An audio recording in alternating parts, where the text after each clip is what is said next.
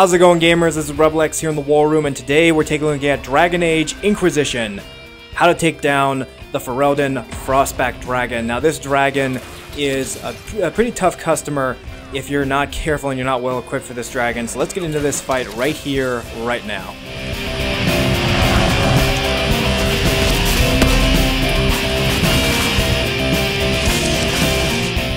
Alright gamers, so as the name states, you will find this dragon in Ferelden in the hinterlands right around this area here. Now this dragon, it's a little bit of a tough customer dragon. I recommend if you are a level 13 or higher, take this dragon on. If you are not, wait till you get to level 13 or a little bit higher to face this dragon. Now this dragon, it doesn't have any special magical attacks aside from breathing fire like its cousins do.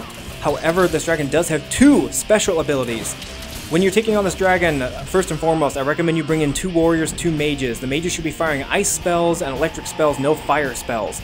Next thing too is when you are fighting this dragon, one of its special abilities, once you weaken this dragon, taking away a quarter of the dragon's health each and every time, the dragon will take to the air. The dragon will shoot fireballs at you and then scorch the land with a fire trail.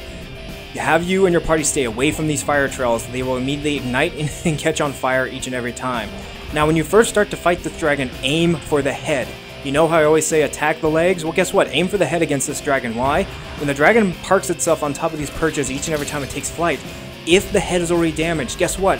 You and your team can bring the dragon back to the ground a lot faster. It will not leave these perches unless it takes enough damage to leave. Once the dragon hits the ground again, you and your teammates will be able to do a lot more significant damage to it. Next thing up too, if you are playing as a rogue character, that's fine. Have a warrior class and then two mages back you up. If you a warrior and a rogue class should be setting up traps and using their special abilities against this dragon's uh, legs, the mages should be attacking this dragon's head. Now, when the dragon is down to over half its health, the dragon will let out a large roar that will stun you and your party members. What does this ability mean? Well, guess what? The dragon will be summoning its young. That's right. Little baby dragons? Well, guess what? Those little baby dragons will show up into the fight and try to take you and the rest of your teammates on. As you see right there, the dragon just let out a roar to stun me and my teammates. These little baby dragons will come in in at least groups of four to six. What I recommend here is that have your two warrior classes or rogue class characters attack the dragon while you and your mages attack the baby dragons.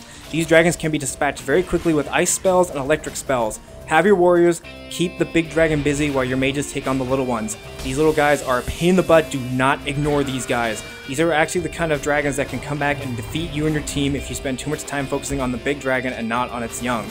Now, once the major dragon has taken enough damage, the dragon will immediately take flight and go back to its nest.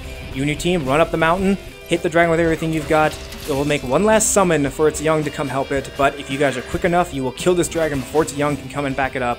And there you have it the Ferelden Frostback Dragon will fall to the ground and die. Dun, dun, dun, And you and your team have taken down your first dragon, supposedly your very first dragon in Ferelden, and in the game of Dragon Age Inquisition. Now this dragon actually has some pretty cool gear, some power rings, and some uh, pretty powerful staff for beginning gamers in Dragon Age.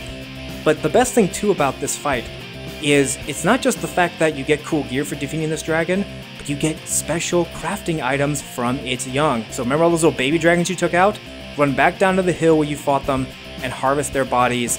You will get dragon scale, dragon blood, dragon claws. You can use this to craft better armor and better weapons. Upgrade your armor, make your character much more powerful, make your characters juggernauts. Dragon armor and material is some of the rarest in the game and some of the most powerful, and you will have a good steady supply of it once you beat this dragon. Alright gamers, that's all the time we have for today for a quick look in how to take down the Fred and Frostback Dragon. Feel free to like, share, and subscribe to the War Room. We're going to be covering a lot more dragons, how to take them down here in the War Room, along with more videos on Dragon Age Inquisition, and also much more games going into the end of this year and on to the next. So keep it here in the War Room, and we'll see you guys next time.